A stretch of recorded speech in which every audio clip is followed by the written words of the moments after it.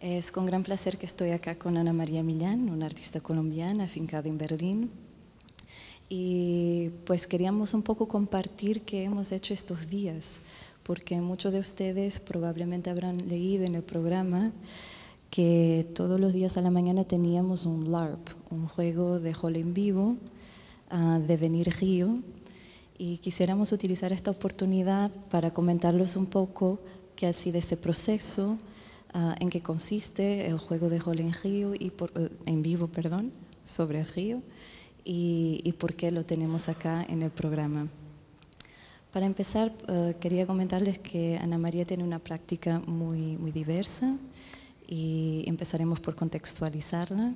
Ana María trabaja con animación, tiene una práctica relacional que también utiliza el juego como un elemento central, las culturas de juego, las personas involucradas en, estas culturas y subculturas digitales y que también incorpora la pintura. Y entonces de ahí que pasó la palabra a Ana María que nos comente un poco sobre su práctica e investigación. Vale, Sofía, primero que todo, muchas gracias eh, por la invitación. Muchas gracias a todo el equipo de TVA que han hecho esto posible. Eh, a ti, Sofía, y muchas gracias especiales a Maya Sarabia por el acompañamiento eh, y la colaboración que ha tenido en este juego de roles. Bueno, el juego de roles consiste, para traer las palabras de Sofía y, y seguir esta dirección, esta guía, eh, en una invitación a distintas personas que traigan avatares, alter egos o amigos imaginarios y sean eso durante un tiempo y un lugar como una especie de mesa verde, de mesa de billar, de mesa de ping pong, donde hay unas reglas eh, solo por ese momento. El juego de roles es un, un, formato un poco importado de la cultura de masas, de la cultura vernácula, digamos, pero donde hay mucha fuerza, mucha vitalidad y se sigue, digamos, produciendo y se sigue, mmm, bueno, produciendo no me gusta tanto esa palabra, pero se sigue eh, gestando eh, vida y material y, y símbolos. ¿No? Hay unos ritos en la cultura juvenil, en la cultura de masas, eh, con los cuales hemos crecido, eh, que son la, creo que la generación que estamos aquí presentes, que son eh, la radio, la televisión, y mmm, entonces el juego de roles es traer eso a, colación como una metodología para un poco deslocalizar ese tiempo y espacio al que hemos sido sometidos en este sistema eh, que controla nuestros cuerpos cada minuto y cada segundo. Entonces, uno de los espacios eh, que, digamos, tú me preguntabas o me preguntas ahora, Sofía, eh, ¿qué, ¿qué, es el juego de roles y por qué? Es porque estamos y vivimos en un sistema corporativo completamente controlados y ese el juego y la fiesta y la alegría y el contacto son uno de los únicos espacios que nos quedan para poder vivir, para poder respirar. Entonces, eh, esa es la razón del juego de roles y también es la razón de la pintura, nombradas la pintura, porque es donde eh, después yo le hago también un, un, un homenaje a los y las participantes de los juegos eh, que se ven y nos vemos reflejados y reflejadas tanto como avatares en estas animaciones, pero también retratados en la pintura.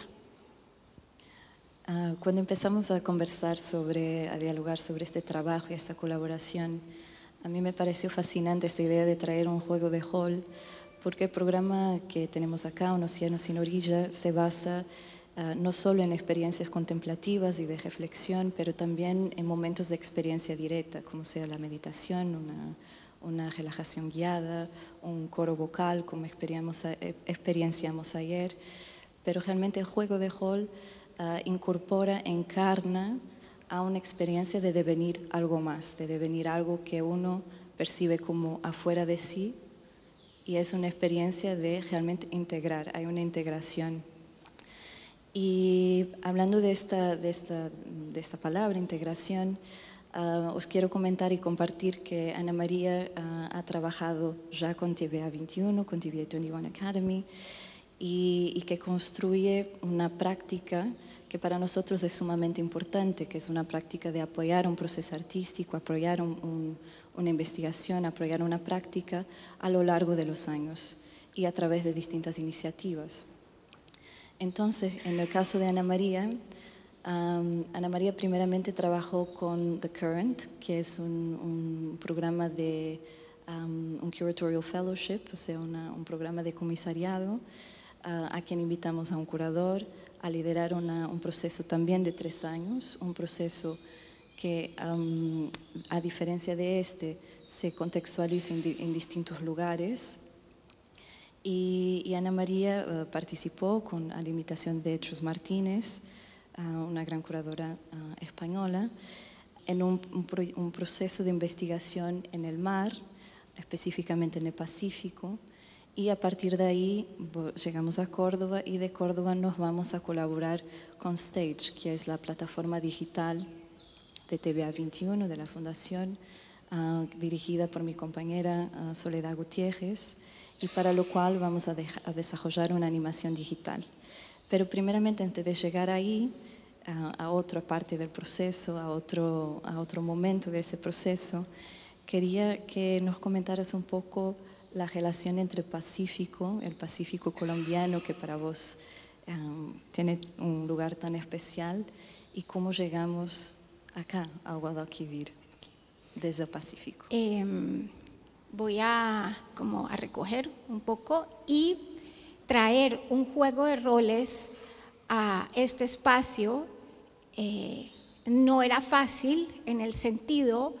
eh, que, como bien lo dije en la primera respuesta, es un espacio que ocurre bajo unas reglas que se enmarcan en un tiempo y un lugar, ¿no? para que esos seres podamos ser liberados en ese momentico, ¿no? Al que, participaron Chabeli, Pablo, Maya, Javi y Miguel en el primer LARP y en el segundo eh, los alumnos de la Escuela de Arte Dramático bajo la guía del maestro Jorge aquí presente. Eh, traer eso a este espacio no era fácil y poco a poco eh, que fue como una sorpresa para mí, ese juego de roles se fue abriendo, se fue abriendo porque esto es como un festival de artes vivas. Entonces, en ese sentido, ese juego de roles encontró una salida en este festival de artes vivas en Córdoba,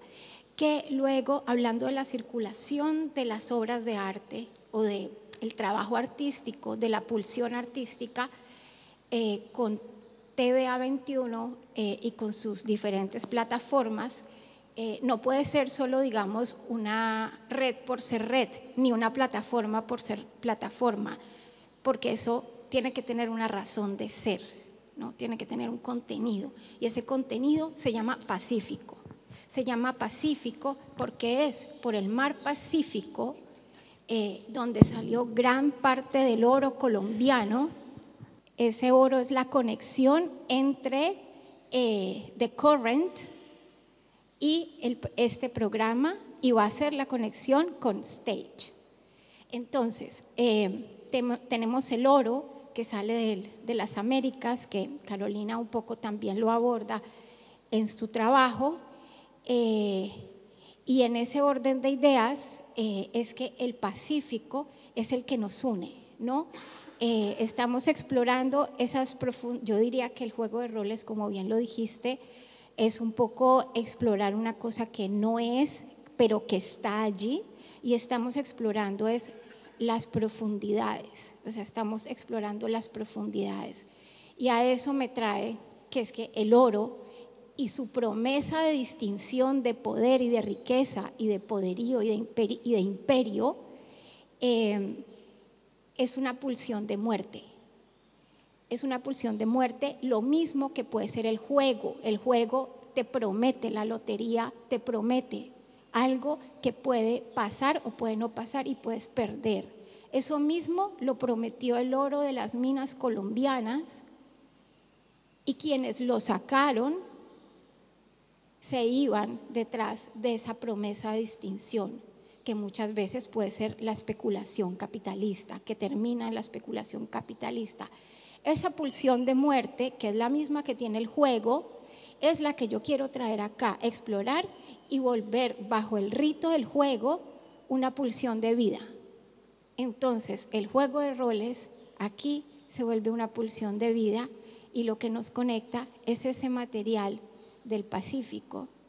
que sale por el Pacífico, que se llama oro, que luego se convierte en muchas otras cosas más. El oro se puede convertir en las plantaciones de coca que hay alrededor de las minas, se puede convertir en el petróleo también tan apetecido. Eh, y lo que se busca con el juego es la pulsión de vida que trae, digamos, una ética de lo que Maya y los compañeros han nombrado, una ética del buen vivir. Y um, pues en esa ética de buen vivir también esa conexión con el río y con la tierra, ¿no? Porque al final el oro que fluye, tanto como flujo económico como material que encontramos del río, lo va siempre a conectar con, el subterráneo, uh, con la excavación, con la extracción, ¿no? Y acá intentamos revertir ese proceso y pasar de un, como decían hoy Victoria y Carmen, Alba y Maite, de pasar de un paradigma de escasez a abundancia, sin que esa abundancia sea a través de lógicas de capital. Volviendo acá al territorio de, de Guadalquivir, a Córdoba, ¿cómo se ha construido esa relación justo acá en Córdoba? A ver, aquí en Córdoba se, se construyó eh, bajo el juego de roles, digamos a partir del el juego como, pulsión de, como apuesta a pulsión de vida, pero en este caso en Córdoba tuvimos una situación muy especial porque, y voy a la respuesta de la primera pregunta, porque esto es casi un festival de artes vivas, ¿no? Entonces es el cuerpo que está recibiendo todo acá, ¿no? Y que está transmitiendo todo, por eso también hay tanto cansancio eh, en este final del, del, encuentro, eh, porque son los cuerpos los que están recibiendo aquí. Y en ese orden de ideas, eh, el aporte o la, conexión de Córdoba fue los cuerpos del teatro que encarnaron este juego a través de la Escuela de Arte Dramático de Córdoba. En este caso no fue un juego de mesa, simplemente con los dados eh, sobre una mesa, sino que como eran, era gente, personas relacionadas eh, con la Escuela de Arte Dramático, entonces eh, hubo una encarnación mucho más, digamos, mucho más corporal de los personajes que se crearon y,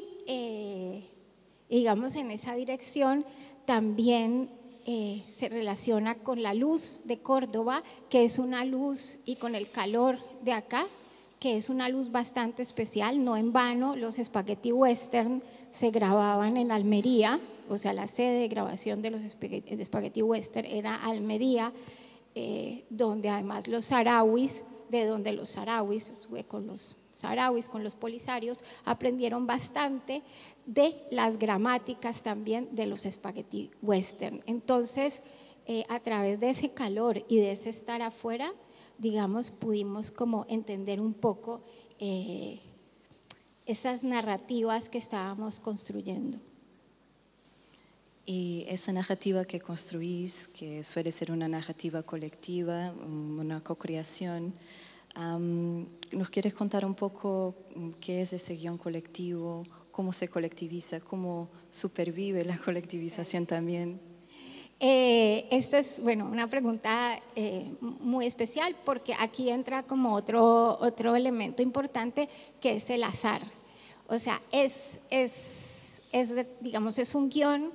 eh, o son unas situaciones que se van resolviendo a través de esos avatares y de los poderes de los avatares, como pueden ver también en las, en las animaciones, que es, digamos, la materialización a veces o no de, las, de estas narraciones, pero lo que da la narrativa, o sea, lo que da eh, si se puede resolver o no, es el azar. O sea, es el azar y entonces ahí vamos a que eh, es de todos y no es de nadie, porque es el azar el que nos dice cada vez si se va a hacer la acción o no. Y de esa manera construimos, junto con el fluir de las cosas y con el fluir del azar, que es el mismo fluir del río, unas situaciones, un guion colectivo que está encarnado en un cuerpo social, que es comparable a lo que decía Carolina, o sea, la analogía del cuerpo hidráulico y el cuerpo social, porque es que aquí también estamos hablando de vidas humanas, ¿no? Son vidas humanas las que están eh, aquí presentes, somos voces, eh, somos células, eh, somos cuerpos cansados, no cansados, corriendo, encarnando el teatro que es esta narración. Por otra parte, también comentarles que mm, parte de Meandering y de este proyecto que se prevé en un ciclo de tres años es em, no solo, mm, como les comentaba hace un par de días, compartir la investigación, hacer la investigación pública en momentos como este, en un momento de encuentro, en un momento de celebración, pero también, también a través de la publicación, a través de ah, comisiones de, obras digitales. Y en este caso, con Ana María pensábamos ah, publicar Ah, el, guion colectivo para que otras personas de otras comunidades se puedan relacionar, se puedan constituir como cuerpos hidráulicos, como cuerpos social, ah, sociales temporales, como me decías hace poco. ¿Por qué te parece importante este gesto de generosidad, este gesto de, compartir una práctica? Eh, a ver, al principio yo me preguntaba mucho, ¿no? Tuve una pregunta con respecto a eso eh, porque a veces eh, yo sí pienso, digamos que a veces las cosas hay que protegerlas, ¿no? Y pienso que es una responsabilidad del artista como asumir la responsabilidad de la, de la, del terreno donde se inscribe y arraigarse a ese territorio que llamamos arte, eh, pero viendo también cómo transcurrieron las cosas, cómo los cuerpos de arte dramático de la escuela encarnaron eh, estos, estos problemas, estas situaciones y cómo las resolvimos, porque las resolvimos en conjunto. Eh, ahora el siguiente paso es poner este, este guion eh, como una herramienta, como una herramienta, en, una herramienta a disposición, precisamente una herramienta que construye un paso más en la ética del buen vivir. Entonces se constituye más una herramienta eh, que otra cosa.